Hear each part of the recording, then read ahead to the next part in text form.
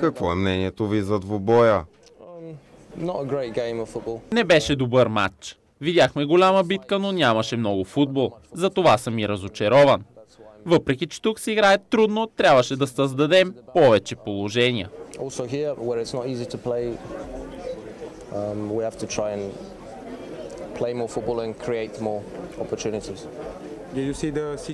Успяхте ли да видите положението в края на втората част, когато Ботев поискаха дуспа срещу Секулич? I, uh, think. Uh, 42 minutes. Да, видях ситуацията, но не аз съм съдията.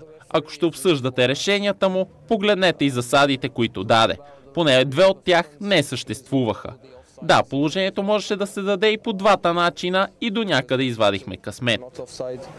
Um, but yeah, I think it can go either way, and for sure we were lucky.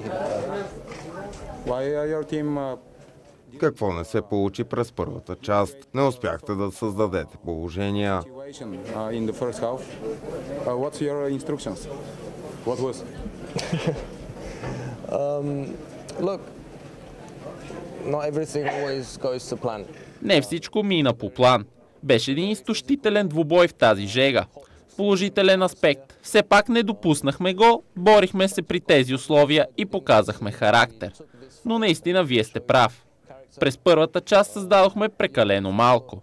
В началото на второто полувреме и двата отбора имаха своите шансове. Малко съм разочарован, че тогава не успяхме да отбележим. Um,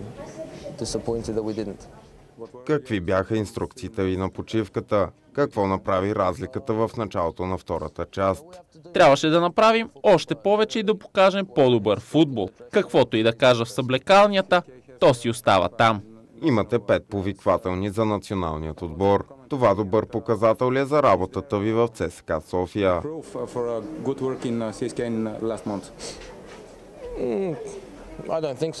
Не мисля така. Това е просто доказателство, че притежаваме добри играчи. Радвам се, че толкова много от тях са повикани, особено за България. За мен е важно ЦСК да има добри български играчи в състава си. Все пак някой трябва да играе и за националния отбор. Надявам се, че ще изиграят добри матчове. Дано се разминат без контузии, за да можем да продължим работата си след това. Какви са плановете на тима за паузата? Както винаги, малко почивка и много работа.